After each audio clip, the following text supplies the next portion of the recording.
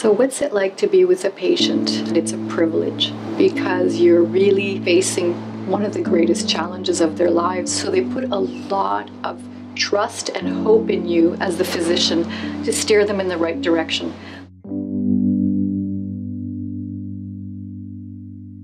I do remember one patient.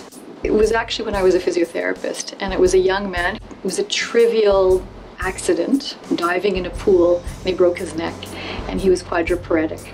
And I remember feeling um, almost useless because I couldn't make these muscles move. But what I took away from that was he relied on me as a support. He looked forward to my visits every day. And I thought to myself, caring for someone is beyond fixing them or curing them, but it's actually being supportive of them. And so I think it's helped me adapt to the fact that we, we deal with diseases that are progressive, for which there may not be cures, but that our role in, in being very supportive of them, lifting their spirits, is so important. So I'm the leader of a group of about 34 neurologists and about a dozen um, associated neurologists. The reason that uh, I was interested in establishing an interdisciplinary clinic was based on knowing the benefits that an allied team could offer to individuals with Parkinson's disease and other movement disorders. We now have one of the best clinics in Canada.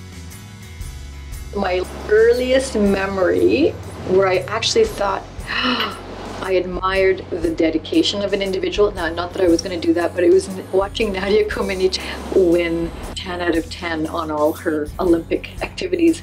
What I recognized was that she was so driven to be excellent and she achieved it that it marked me and I thought, wow, if she could do this, you know, what could I do if I really put my mind to something?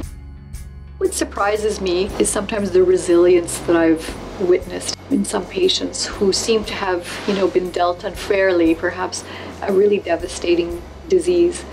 Sometimes these are the patients that teach me the most about having dignity in their suffering. I would have thought it would be extremely difficult to care for someone for whom there really isn't much of a treatment, but surprisingly, they are so grateful for being able to come to the clinic and just the encouragement that we give them to know that somebody cares. It's amazing.